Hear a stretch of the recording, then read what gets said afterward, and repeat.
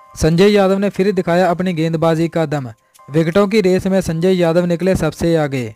एक और मैच में छटके 11 विकेट।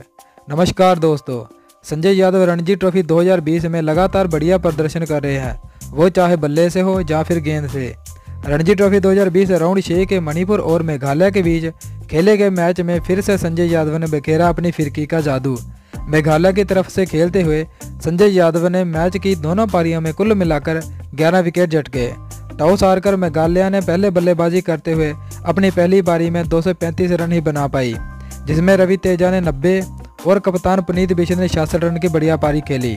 वही नंबर सात पर बल्लेबाजी करने संजय यादव ने चौवालीस रनों की बढ़िया पारी खेली। फिर नज़र आया संजय यादव की गेंदबाजी का जादू। पहली पारी में संजय यादव ने घातक गेंदबाजी करते हुए नौ दशमलव एक ओवर में केवल बारह रन देकर छह विकेट झटके। वही संजय यादव का बढ़िया साथ देते हुए अभय नेगी ने भी आठ ओवर में मात्र पाँच रन दिए और चार विकेट हासिल किए। संजय यादव और अभय नेगी की आग उगलती हुई गेंदबाजी ने मणिपुर को पहली पारी में सिर्फ़ 27 रन पर ही समेट दिया।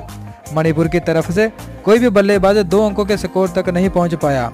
वहीं मणिपुर की दूसरी पारी भी संजय यादव और आदित्य सिंघानिया की घातक गेंदबाजी से बानवे रन पर ही सिमट गई, जिसमें संजय यादव ने पाँच और आदित्य सिंघानिया ने चार विकेट हासिल किए।